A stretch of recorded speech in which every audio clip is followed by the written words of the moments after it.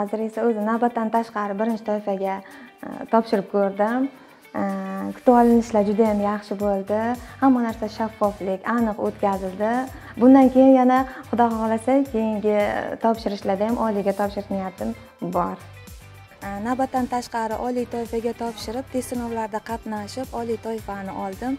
Bahorgi topshirishlarda ham navbatdan tashqari birinchi toifaga topshirgan edim. Unda ham birda olib e, hozir oliy toifaga o'tdim e, yuqori ball bilan.